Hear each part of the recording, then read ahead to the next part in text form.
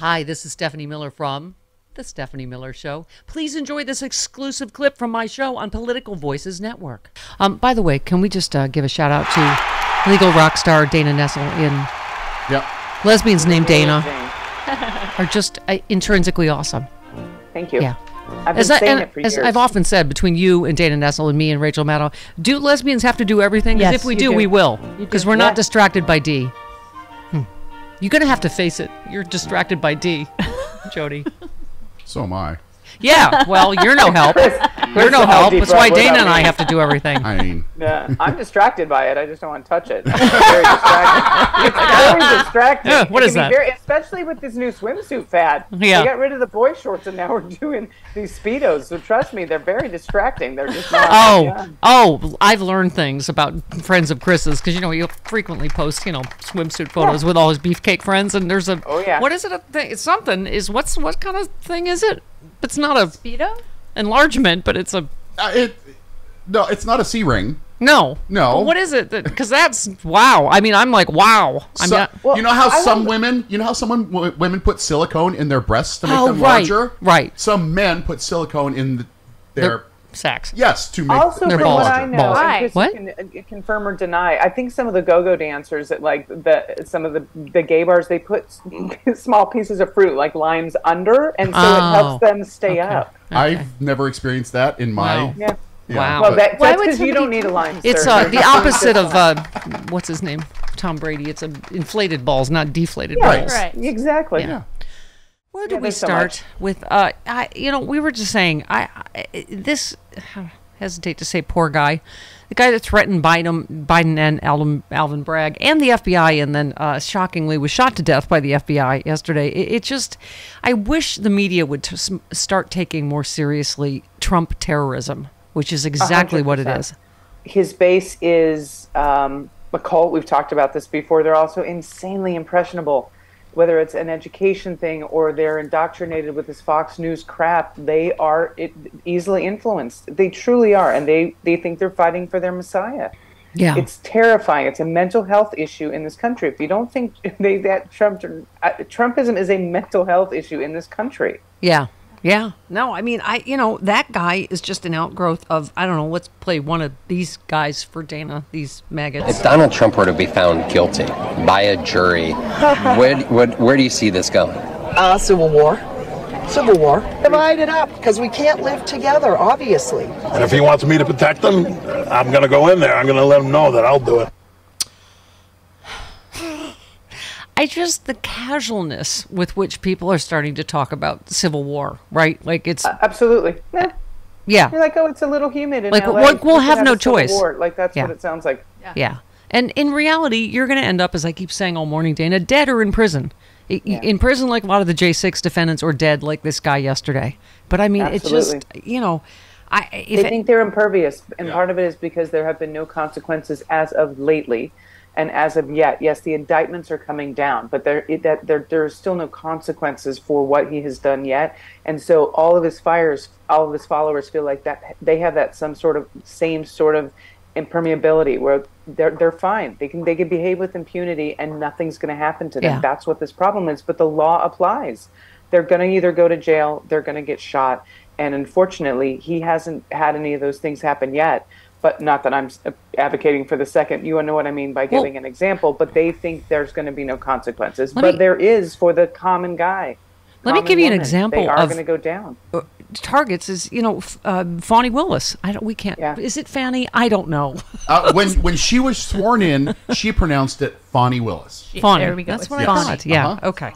Um, so Dana, you know, obviously she's talked about the amount of threats, the amount of security, uh, uh, all of. I, I'm sure they all need Alvin Bragg, uh, Fani Willis, Jack Smith. There's been multiple, uh, you know, threats not just against Jack Smith, against the entire grand jury. But uh, obviously, it looks like Fani Willis is up next. Clearly, you know, we're any day now. Looks like it might be now next week. But um, we were, you know, he puts out so much bull so quickly in these stupid troughs or whatever. We were saying it's impossible to fact check in real time. We're always like, what is he talking about? And then it takes a day because we were saying he basically called Fani Willis a whore, you know, a Yeah. gangbanger whore, yesterday, and we were like, "What is he?" And so, sure enough, today Trump branded a Georgia prosecutor a young racist and claimed she had an affair with a gang leader. Uh, she, they said uh, he said they said she was after a certain gang, and she ended up having an affair with the head of the gang or a gang member. Claimed Trump at this rally. Uh, last week, Trump posted a video on Truth Social featuring a Rolling Stone headline about Ms. Willis defending rapper YSL Mondo in 2019 and falsely claiming that she got caught hiding a relationship with a gang member she was prosecuting. There is no suggestion or evidence that Ms. Will- Ms. Willis had any romantic relationship with the rapper, who described the mother and son type of talks he had with her. The magazine reported at the time. So, as usual, it's, I said, "What is that about?" Nothing. It's about nothing. It's Yeah, about, but you it's know, also Ms. Will- that- Ms. oh, Willis sorry, is go ahead, married with two children, is obviously expected to indict him soon. That's what it's about, right? Well, she also has grounds now to sue him for defamation. I mean, I know. Carroll is precedent for this stuff. It's just ridiculous that he would do this. He's not acting in the his presidential whatever responsibilities or whatever. He's not protected by the First Amendment Yeah. with this.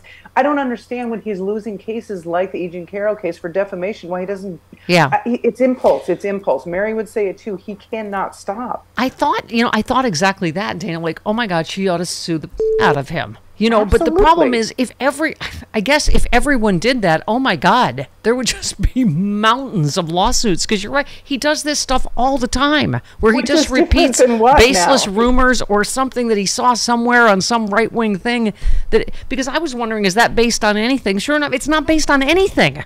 If, Right. if, if Fani Willis, uh, if, if anybody has knowledge on how to sue somebody, it's Fani Willis. Yeah, but I think that she you know, should. obviously, she's more focused on indicting him for the crimes he committed in Fulton County. But, but- so Of of, course. of course. course, she's probably not going to. But you're right. Like, how does he keep getting away with this? Just defaming people left and right every day, based Well, on also the threats online. If any anyone else who was under indictment was sending off the Truth Social tweets that he is, they would have his his um, terms of his release revoked. He'd be in jail. He called. Jack Smith a crackhead and said it was his coke in the White House. I mean, I mean, it's like, but you're right. There, he's focused on, you know, prosecuting Trump for the crimes he committed, and so I'm sure again he's not going to either. But it, it just there is this sense of just like, oh my God, how does he keep getting away with this? You can't just, you know, I mean, can and we can't count on, but you have to just hope that like all of this turns into evidence in cases. Like, listen, judges they decide how they're going to try people, uh, and not based on their own biases. But when you've got a criminal that keeps breaking their terms that the judge is setting, Yeah. it's not doing him any favors when it comes to sentencing, when it comes to Yeah. his case.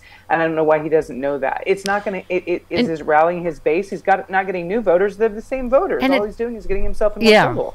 And Dana, when you bring up E.G. and Carroll, it does make you like wish that everyone had her wherewithal and crack legal team because you're right because she keeps winning and winning and winning as all of these people would that he's Yeah. defamed. But it's just you're right. He counts on that most people don't have the wherewithal or the access to legal help or whatever to, to pursue this, right? Well, also, I think he thinks he genuinely believes he should get away with this stuff because of who he is. I don't think he's counting on people not being able to defend themselves. This man thinks that he is impervious to consequences because it hasn't happened yet. Yeah. And so he's just going to keep rattling this crap off. So I don't even think that he thinks they're not smart enough or not wealthy enough to get the right lawyer. He doesn't give a crap. Yeah, yeah. Beth in Michigan, you're on with Dana. Hey, Beth. Hey there. Hi. Good morning. It's it's a great morning in Michigan. Ten of the fake electors were arraigned, Yay. Yay. and they all pleaded not guilty, which is hilarious because one man said that he just signed a blank piece of paper, not knowing where his signature was going. and the real funny thing is that the leader of the group, she had a pool party at her house. Thirty dollars as a fundraiser for her legal fees. And she also has a GoFundMe page. Yeah. And they live in a very wealthy area. And, and people are giving her money. Yeah. So anyway, she- sucker born every minute.